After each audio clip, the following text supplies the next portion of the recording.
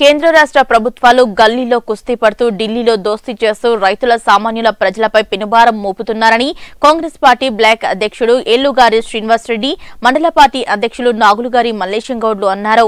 కేంద్ర రాష్ట్ర ప్రభుత్వాల ప్రజా వ్యతిరేక విధానాలను నిరసిస్తూ అఖిలపక్షం ఆధ్వర్యంలో చేపట్టిన బంద్ కొల్చారం మండల వ్యాప్తంగా విజయవంతమయ్యింది.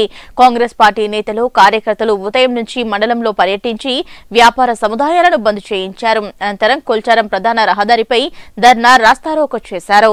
కేంద్ర రాష్ట్ర ప్రభుత్వాలకు వ్యతిరేకంగా పెద్ద ఎత్తున నినాదాలు చేశారు. అనంతరం నిరసన వ్యక్తం చేస్తున్న కాంగ్రెస్ నేతలను పోలీసులు అదుపులోకి తీసుకుని పోలీస్ స్టేషన్కు తరలించి సొంత పూచీకత్తుపై విడుదల చేశారు. ఈ సందర్భంగా కాంగ్రెస్ పార్టీ నేతలు మల్లేశం గౌడ్ ఏలుగారు శ్రీనివాస్ రెడ్డిలు మాట్లాడుతూ కేంద్ర రాష్ట్ర ప్రభుత్వాలు రైతు వ్యతిరేక నల్ల చట్టాలను వెంటనే ఉపసంహరించుకోవాలని అన్నారు.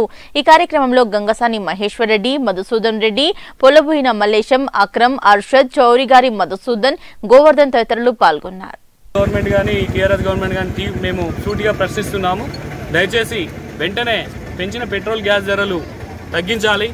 సామాన్యులను భూమి మీద బతికే పరిస్థితి లేదు. కాబట్టి వెంటనే మీరు వాటిని తగ్గించిన ఏడల మా కాంగ్రెస్ పార్టీ ఆధ్వర్యంలో తీవ్ర ఎత్తున ఆందోళన చేయడానికి సిద్ధంగా ఉన్నాం. అలాగే పదకొండు నెలలుగా ఢిల్లీలో రైతుల పక్షాన పోరాటం చేస్తున్న రైతు వ్యతిరేక చట్టాల మీద పోరాటం చేస్తున్న రైతుల పట్ల ఒక్క నిమిషం కూడా ఆలోచించకుండా ఈ మోడీ ప్రభుత్వం నిరకు- నిరకుశంగా అవమానిస్తూ ఇప్పటికి రైతు రుణమాఫీ లేదు. ఈ ఈ ఇదేంది ఇదేంది మన దళిత బంధు అంటున్నారు. ఈ కార్యక్రమాలను చూస్తే ఈ మనకు కేంద్ర రాష్ట్ర ప్రభుత్వాల మీద మనం ఈరోజు విసిగించుకోకపో రైతులైతే విసిగించుకుంటున్నారు. ఈ విషయాన్ని మనకు నాలుగు వేల రూపాయలు రైతు బంధు అని ఎకరాకే ఇస్తున్నాం. నాలుగు నుంచి ఐదు వేలు ఇస్తున్నాం ఈ ఈరోజు డిఏపి ధర పన్నెండు వందల నుంచి పదిహేను పదిహేను వందలు అయింది.